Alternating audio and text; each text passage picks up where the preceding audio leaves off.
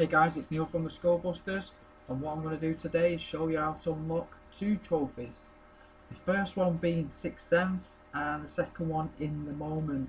Now for 6th Sense, what you need to do is hunt and kill 10 enemies while perception is active. So that's if you hold L1 and press triangle.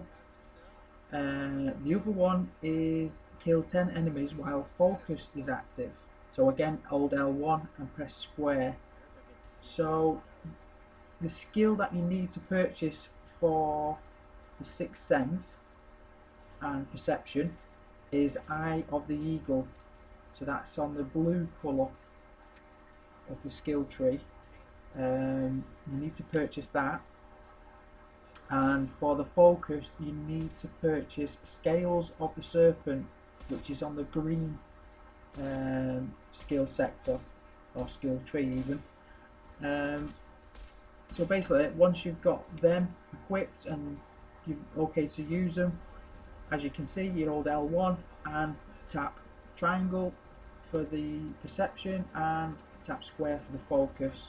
And as you can see in my videos, I apply both of them at the same time so that you get the same kills registering on both um, I have been told that only takedowns, stealth takedowns work, but as you can see in mine, I was using the guns and I've got the trophies, so if it's an issue for you guys, let me know in the comment section and I can reproduce a different video for you to help you out.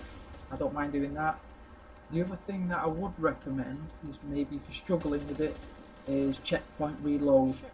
So if you're going to go that route, always leave a guy left, then pause, checkpoint reload, start again and get your kills all again. Um, but I got mine through the campaign without stopping really. Like I say, I just pressed both of them, uh, equip both of them, and I got all all the 10 kills counted for both sets then. So thanks for watching guys, and see you next time. He's in the, in the fucking chopper.